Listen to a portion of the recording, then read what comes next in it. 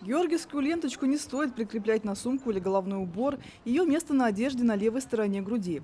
Если вдруг кто-то, у кого-то тянется рука прикрепить на сумку, просто вежливо напоминайте о том, в какое место можно а, ее прикрепить, а в какое нельзя. Короткий инструктаж и вперед на раздачу ленточек. В этом году, накануне Дня Победы, в акции «Георгиевская ленточка» приняли участие волонтеры Подмосковья и ученики шести школ Сергиево-Посадского округа. Среди них пятая гимназия, первая школа и школа Загорских далей. А, Ребят сегодня около 40 человек, и они все в четыре направления по городу у нас проходят а, в разные зоны, а, чтобы всех жителей и всех гостей города охватить и всем раздать ленточки. Шли от Длинной горы в сторону вокзала, Воробьевской, к мемориалу Славы, бульвару Кузнецова.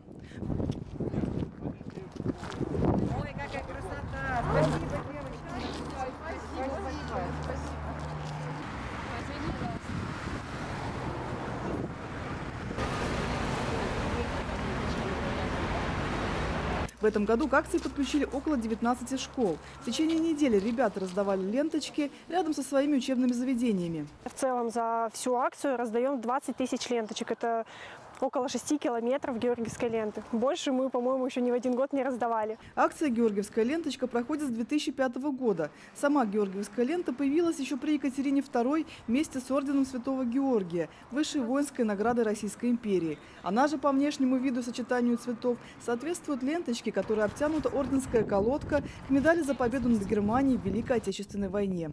Екатерина Фурсова, Дмитрий Зайчиков, программа «События».